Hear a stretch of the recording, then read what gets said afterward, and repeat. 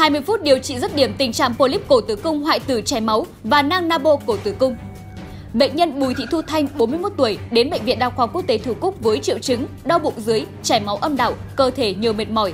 Sau khi thăm khám, chị được chẩn đoán bị polyp cổ tử cung, hoại tử chảy máu và nang nabo cổ tử cung.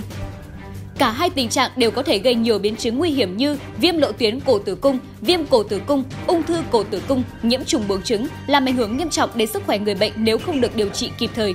Chị Thanh được chỉ định phẫu thuật cắt polyp cổ tử cung và đốt điện nang nabo cổ tử cung.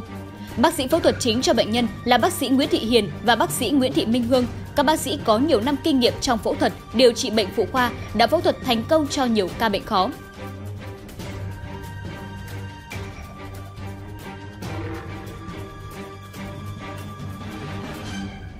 Chỉ sau 20 phút, ca phẫu thuật đã hoàn tất, loại bỏ thành công khối polyp cổ tử cung và đốt điện nang nabo không để lại sẹo, cổ tử cung nhẵn mịn. Sức khỏe bệnh nhân ổn định, không có bất cứ tổn thương mới hay vấn đề bất thường nào.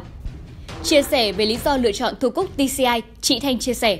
Trước đó ông xã mình cũng có phẫu thuật ở đây và thường xuyên ờ, khám định kỳ tại ờ, bệnh viện quốc tế Thu Cúc và khi mình cảm thấy mình không ổn thì mình điểm đến đầu tiên mình luôn chọn là bệnh viện à, quốc tế Phú Cúc à, lần này cũng như vậy. Những bác sĩ à, tại đây rất là nhiệt tình và chuyên nghiệp và các dịch vụ ở đây cũng rất là tốt. Thì, khi đến đây thì mình rất là yên tâm.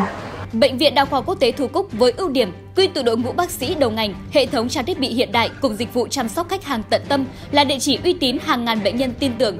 Nếu có bất cứ thắc mắc nào, bạn có thể liên hệ với chúng tôi để được hỗ trợ sớm nhất.